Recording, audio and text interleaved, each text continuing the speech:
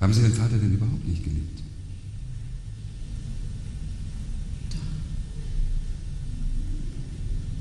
Grenzenlos. Wer trägt eigentlich die Schuld an dem, was geschah? Weißt du, ich, ich war verrückt nach dir. Und ich wollte echt gern mit dir schlafen. Irgendwann mal, aber nicht gerade mit 15.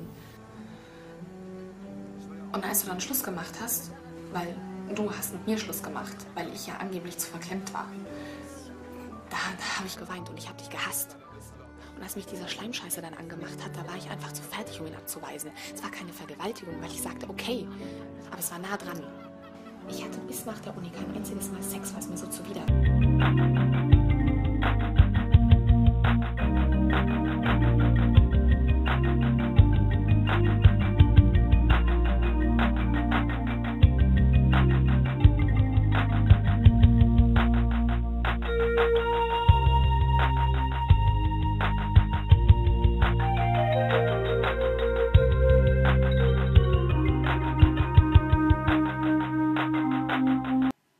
glaubst oder nicht, auch meine biologische Uhr tickt.